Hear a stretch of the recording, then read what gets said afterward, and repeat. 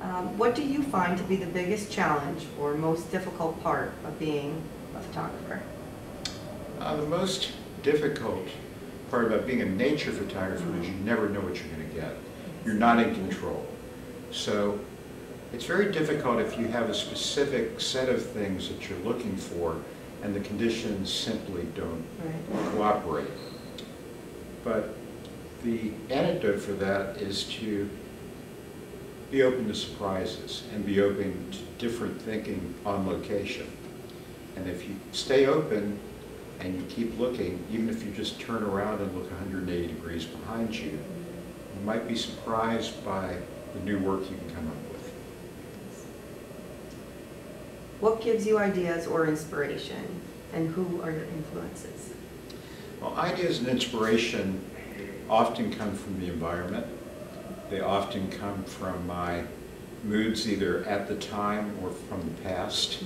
As far as visual inspiration, I look very much towards filmmakers. Um, I love Stanley Kubrick and the Coen brothers and Alfred Hitchcock and Orson Welles, and they're really my visual education, much more so than the wonderful photographers I've looked at over the years.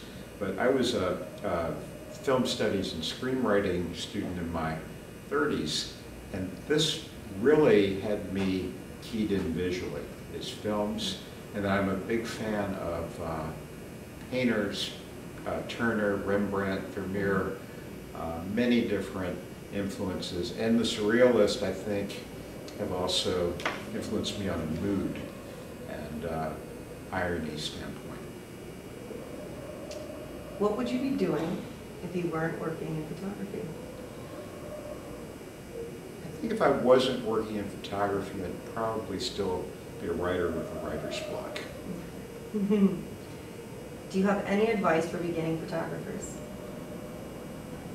My advice is try to do a lot of shooting, try to study painting, photography, um, film, any type of visual medium, medium, architecture, and continue to refine your craft and don't expect perfect results.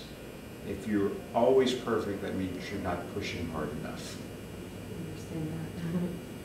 Um, Okay, last but not least, do you have a favorite camera or lens? Well, currently, I really like the camera Canon 5D Mark III. I love the uh, fairly normal zoom for that, a 24 to 70. And then my other favorite camera is my iPhone, which I use quite a bit and even uh, exhibit and teach iPhone classes. Cool.